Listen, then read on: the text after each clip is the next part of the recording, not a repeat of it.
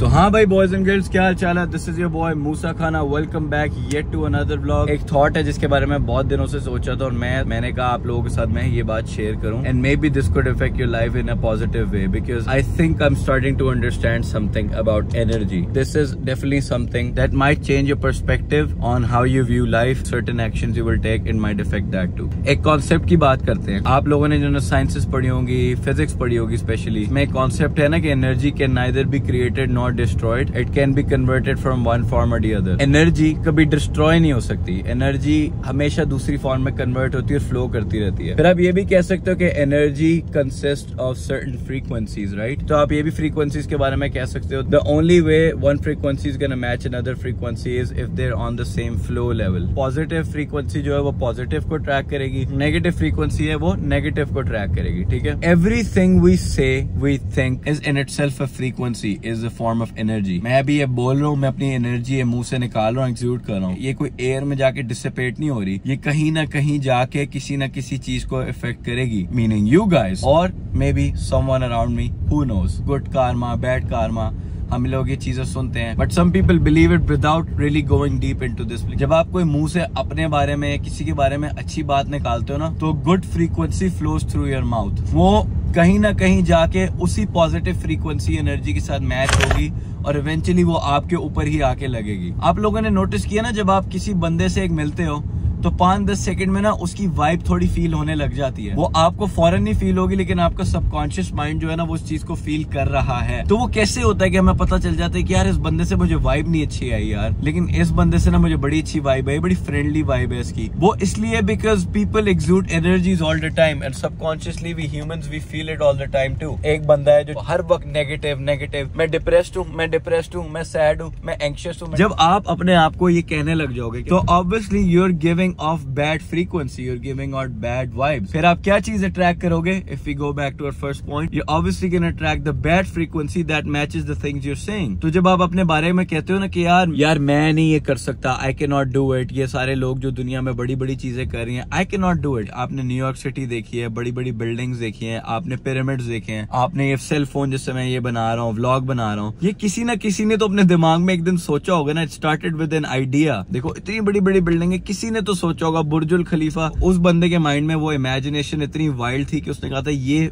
Possible है। Possible है he started working towards it he started gathering a team of people he shared his vision he shared his ideas and eventually we have the product लेकिन बहुत से लोग होते हैं, वो ये कहते हैं, यार, ये कैसे इंसान ने बना लिया यार? मैं तो कभी ये आइडिया फैदम ही नहीं कर सकता. Same concept you are thinking that you can not do it तुमने अपने अंदर रॉन्ग नंबर डाल दिया ऑलरेडी अगर अपने आप को आप लोग बोंगा समझने लग जाओगे ना, यार, मैं तो ये अचीव कर ही नहीं सकता. Mind is full of endless possibilities mind तो आपका केज नहीं है ना, आपके हालात आपका प्रेजेंट हो सकते हैं। Family your bond that could be your present but your mind should not be your present mind is free to think whatever I want दिमाग की बातें कोई नहीं सुन रहा, वो तुम सुन रहे हो। और फिर वो जो तुम सुन के उस पर सर्टन एक्शन करोगे, वो लोगों को नज़र आएँगे। तो कहने का मतलब ये कि energies and frequencies this is very real metrics की जब हम बात करते हैं, दुनिया एक पूरी मेट्रिक्स है। वो किस तरह है दुनिया, सारी मेट्रिक्स वो मेट्रिक्स इसलिए है कि सारी दुनिया एनर्जीज और फ्रीक्वेंसीज पे चलती है। अब मैं इसमें ज़्यादा डीप नहीं जाऊँगा। आखिरी बात उसमें बताता चलूँ की आप नोटिस करो कुछ सॉन्ग्स होते हैं सर्टन सॉन्ग्स वो हमें बड़े प्लेजेंट लगते हैं लेकिन कुछ सॉन्ग्स हमें बड़े अनप्लेजेंट लगते हैं। फॉर एग्ज़ाम्पल वो केटी पेरी का डार्क हॉर्स इतनी इवल वाइब थी उस गाने में। कभी सुना उस गाने को फिर वो जस्टिन बीबर का वेयर आर यू नाउ वाला। पुई, पुई,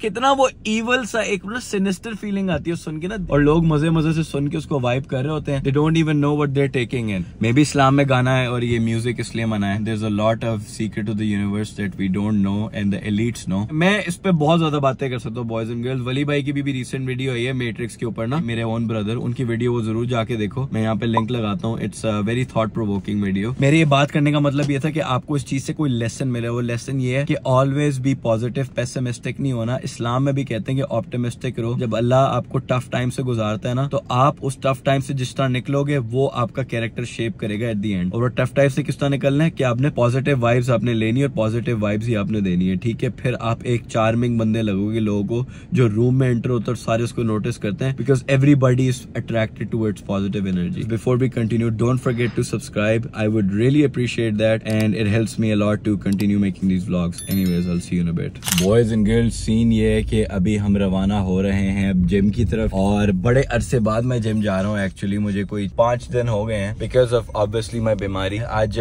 जिम जाने लगा ना तो आपको पता है मामू दुबई गए हुए तो मामू की मुझे पटिंग पटिंग दो वीडियोज़ आई। सब कैसे हैं? ठीक ठाक हैं? ये वीडियो मैं स्पेशल आप लोगों के लिए बना रहा हूँ क्योंकि मूसा ने मुझे कहा था कि प्लीज़ कुछ बनाएँ। इस टाइम हम दुबई मरीना में हैं। आप देख सकते हैं कितनी प्यारी प्यारी खूबसूरत बिल्डिंग है ऑल अराउंड और इस टाइम मैं जो सा हूँ यहाँ पर ये क्रूज में हूँ। कितना खूबसूरत मंदिर है। और यही मैंने भी मूसा को भी देखा है। यहाँ पे उसकी छोटी सी मुंडी नज़र आई थी अभी अंदर चलेगी पानी के अंदर। और इन एक दिन मैं और मूसा यहाँ पर इकट्ठे आएँगे जी तो मूसा साहब आप देख सकते हैं मुझे मैं यहाँ पर इस टाइम हूँ दुबई मरीना में और मैं बहुत चल कर रहा हूँ। तुम्हारे बगैर। इंशाल्लाह जाएँगे। मामू के साथ एक दिन उधर जाके ब्लॉग करेंगे दुबई में। साथ साथ उनका भी ब्लॉग यहाँ पे चल रहा है। साथ साथ मेरा भी ब्लॉग चल रहा है। मामू को भी यूट्यूबर बना देना हमने अब। Coming back to going to the gym I know मैं कहता हूँ कि यार रोज जाना चाहिए, रोज जाना चाहिए जिम और मैं बीमारी में भी जा रहा था, लेकिन you know your body sometimes you have to listen to your body फ़िलहाल अभी मेरी गट फीलिंग कह रही है चले जाओ, कुछ नहीं होता। मैंने एक और चीज़ नोटिस की है। जब बंदा कहते ना, मैं यार बीमार हूँ, मैं बीमार हूँ। मैंने जितने भी लोगों को देखा है कहते हुए। To be honest with you वो सही होते भी नहीं है। और मैं मैं आई एम द कल्परेट मैं अभी तक लिटरली मैं यही सोच रहा था। मैंने कहा यार मैं हर वक्त कहता रहता हूँ मेरी आज ये तबियत खराब है मेरी वो तबियत खराब है। रादर देन मैं अब अपने दिमाग में ये सोचने लग गया कि I am okay I am good I am good I am in the best health यही कह जाना मैंने अपने आप को। दिन रात सुबह शाम माइंड में भी सोचना है। When I say things like this I will start attracting that positive energy from the environment from everywhere I think अल्लाह को भी वही बंदा पसंद होता है जो हर वक्त ना रोए जो no matter how many hardships he gets he continues to move forward he strives to move forward. With all the resistance in the world that comes, is facing his way, he keeps moving forward. Allah तुम्हें पहला test देता है exam की तरह. तुमने पास किया. कहता अच्छा ये तो हो गया, ये वाला लो टेस्ट ये भी पास कर लिया.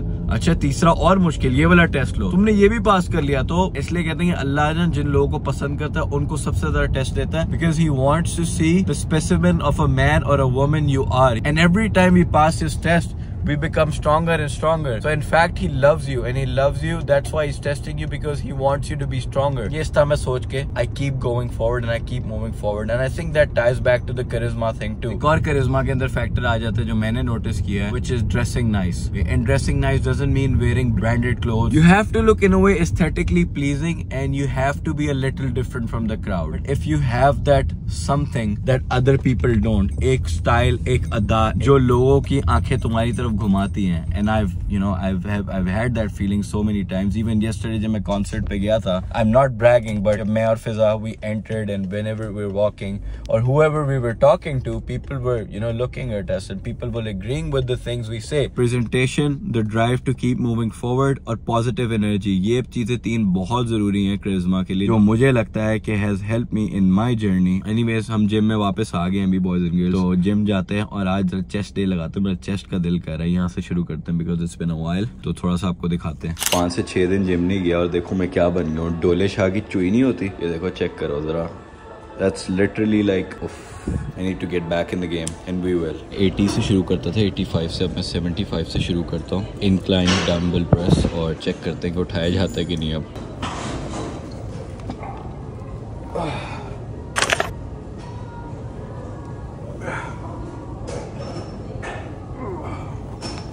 Success lateral decline press upper chest के लिए, ठीक है? क्योंकि हमें फ्लैट चेस्ट चाहिए। और जब आप इसको पुश करते हो ना तरफ़ तो यहाँ पे बीच पे ज़ोर पड़ता है तो you'll get a nice line in your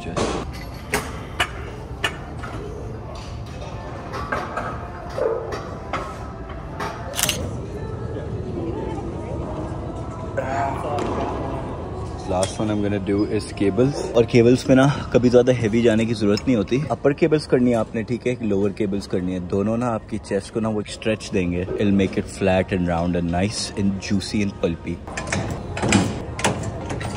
Kill all you rappers, I'ma aim with precision. They was rocking with your ass till they made a decision. All my friends making mans cause they know. जाने से पहले मैंने कहा shoulder की भी लगा लेते हैं जो भी एक्सरसाइज मैंने की है ना I went hard on it even though मैं बीमारी से वापस आया लेकिन मैं अपने मैक्स पे गया हूँ आखिरी जो स्क्वीज होता है ना सारी मसल डेवलपमेंट ही बॉयज़ एंड गर्ल्स उसमें होती है तो आपने आखिरी रेप तक जान मारनी है चाहे जितना मर्ज़ी लाइट पे उठाओ but you have to go to your max to push your limits and to go to the next level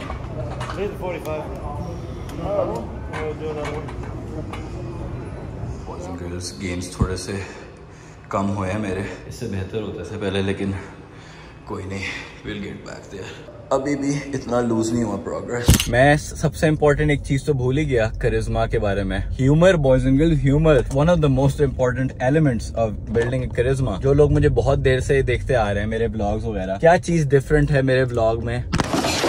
एक तो ये चीज़ होगी मेरे ब्लॉग में कि मेरा फ़ोन जो है वो बार बार गिरता रहता है। लेकिन दूसरी चीज़ है humour I know lot of people watch my channel because of the humorous nature of it but doing and doing it over again almost became second nature for my channel जब मेरी सीरियस बात भी कोई चल रही होती channel के अंदर या कोई मोटिवेशनल चीज़ भी होती है, उसके बीच में ह्यूमरस कॉन्टेंट होता है, आपने ना लोगों के इमोशंस को ऊपर नीचे लेके जाना होता है, ठीक है?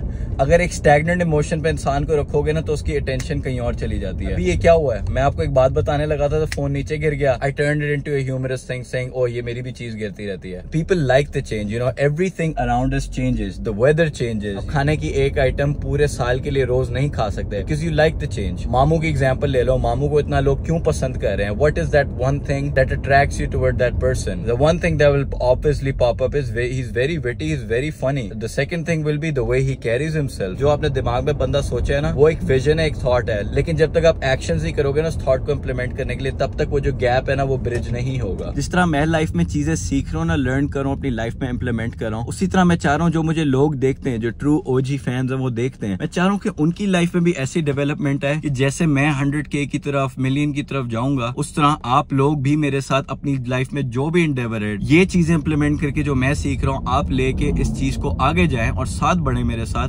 ताकि कल को मैं अपनी वीडियो में आगे जाके ये कॉमेंट देखूँ कि यार, मैं भी मूसा खाना के साथ इस जर्नी में शुरू हुआ था और अब मैं भी यहाँ पे पहुँच गया जहाँ पे मैं पहुँचना चाहता था। Remember boys and girls it all start in the mind घर वापस आ गया हूँ मैं और अब जरा डिनर टाइम हो गया है। हमारी वाइफ ने हमारे लिए बनाया है। फ़र्स्ट ग्लांस में आपको वॉमिट लग रहा होगा।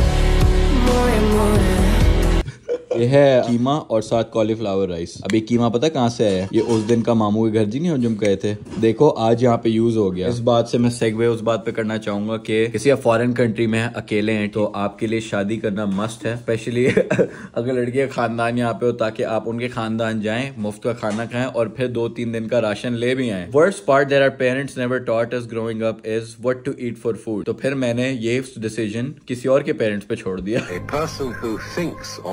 अगर हम इसकी यू नो कैलोरीज लगाएँ कॉलीफ्लावर राइस की इन इट तो लिटरली हंड्रेड कैलोरीज भी नहीं होंगी, और कीमा जो है इसकी five hundred six hundred calories होंगी तो very lean and very nice थोड़ा सा बटर चिकन भी है लेफ़्ट ओवर हमारा।